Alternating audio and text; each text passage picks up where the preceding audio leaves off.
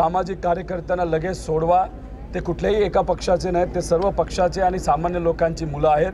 त्यांच्या कुठलीही कारवाई करू नका. त्याचं मुख्य कारण त्यातले काही स्पर्धा परीक्षा देणारे युवा आहेत.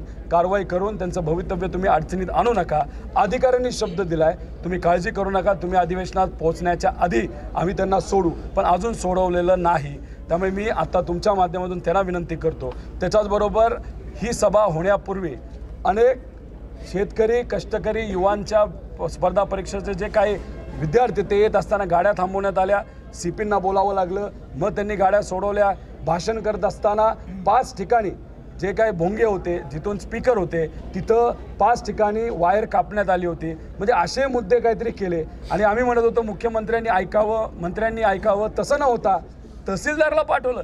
म्हणजे हे आठशे किलोमीटर चालून सामान्य लोकांचे प्रश्न आम्ही मांडत असताना तुम्ही आमदारांना जर तिथं भाव देत नसताल तर गरिबाला कसं भाव देणार? सामान्य लोकांना कसं भाव देणार? ते कोणाकडे जाणार? असा मुद्दा मांडल्यानंतर मग कुठेतरी सी एम साहेबांनी मग आम्हाला बोलवलं आणि हे सगळे मुद्दे ऐकून घेतले.